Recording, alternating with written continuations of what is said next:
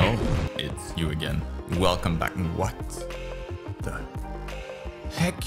Oh, hi. I'm Marc. I've been a professional artist for 666 years. And now I teach art for a living. In this week's new epic episode of my weekly series I call YouTube Art School, live from my work in progress new studio, I'll show you three of my recipes to draw simple yet cute looking faces from different angles and each in a different style from simple to more realistic. Something for you if you're an art baby or if you're more advanced as an artist. Huh? Uh oh Quickly, let's get this class started.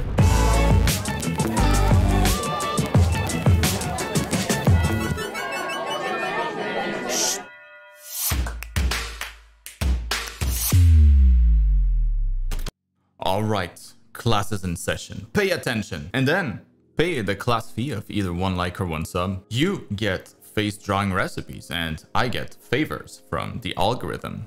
We all profit. Now drawing faces is hard. Or is it? It's all about how you go about it. The recipe you use. Some are easy, some are hard, just like when cooking. In today's class, I'll start with the hardest one and then we'll end up with the easiest one.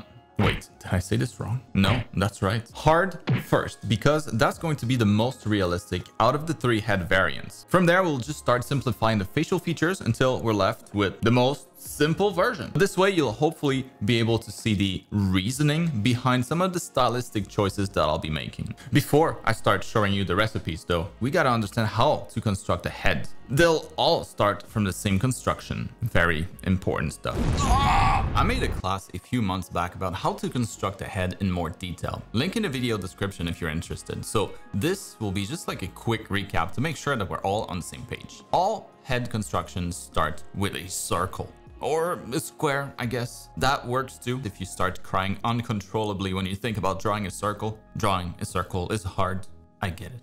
But draw one, do it. And divide the circle in thirds. Then slide the length of the diameter until the first line of thirds lines up with the center of the circle. And now we have all the proportion information we need to construct a head. This line is the hairline. This one is the eyebrow line. This one is the nose line. And the bottom one is obviously the chin line. Draw a little chin. And starting from the center of the circle, let's draw a simple curve representing the jawline on both sides. In the middle here, that's where the mouth goes. And in the middle there, roughly speaking, that's where the eyes go. Ah, beautiful. Now you know how to construct a head. I have the same thing here, but in perspective this time. A little harder since the circle is now a sphere, but we're dealing with the same proportions. Again, check the other class in the description if this is going too fast. I explain things in much more deets. So from here, how do we turn this into a generic head? Once you know that, you'll be able to understand how I deviate from this in my recipes. It'll make more sense.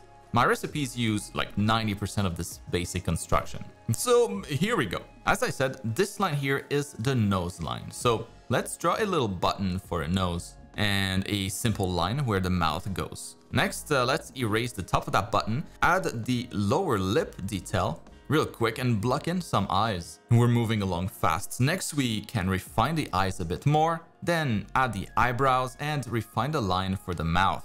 And then the irises. There we go. A very basic generic head based 100% on the original proportions. Works pretty well, right? That's a convincing head. I'm not convinced, bro. What was that?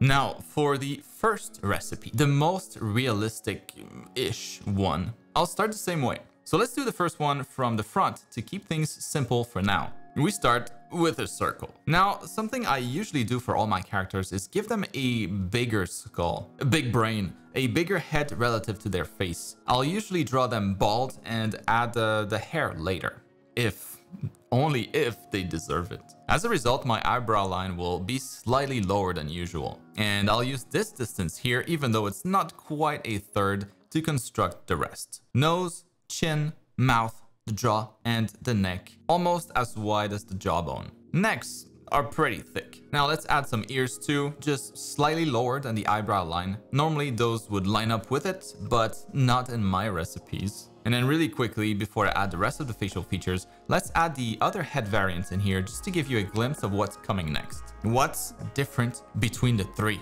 The answer is the jawline, primarily. The initial circles are all identical, position of the ears too, it's almost all the same except the jawline and the thickness of the neck. Just like we're about to see with the rest of the facial features, the ears also go for more realistic here, starting with the helix, the tragus, the heel of the tragus, the anti-tragus, the anti-helix, and the rest of the helix that we already started as it wraps around behind the anti-helix and back to the front towards the lobule.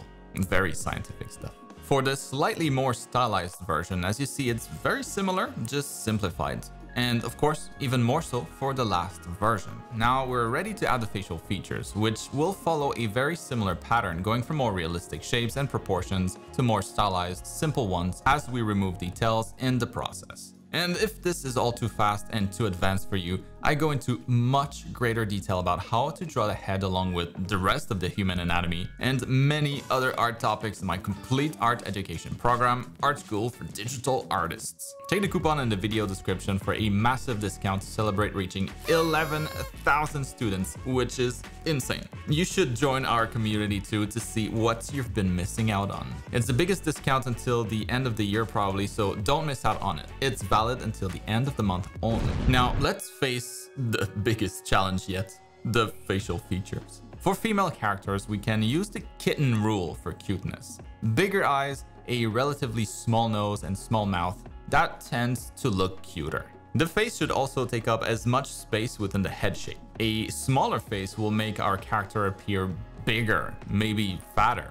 It can be cute too, I guess, but it tends to look more masculine. Here, the nose is not necessarily small, but I make it appear small by avoiding drawing the entire nose bridge. I'm just suggesting it. Same with the nostrils, just a few lines to suggest it. For the mouth, I start with the tubercle of the upper lip, and then two more curves going towards the corners of the mouth. Next, I add a suggestion for the vermilion border, and another one for the cupid's bow, and it's done. The eyebrows next will follow the straight line that I had here with the lateral tips curving down following the ridge of the eye socket and on the inside towards the nose bridge. For the eyes, we'll keep it fairly simple too. Starting at the corner of the eye, we go up 45 degrees approximately, then slightly down towards the outside of the eye, some eyelashes, and a suggestion for the lower eyelids. Let's add the fold for the upper eyelid, more or less pronounced depending on the ethnicity. And we can finish this off with the iris. So as you can see, I'm not drawing the contour line of everything. A lot of it is only suggested.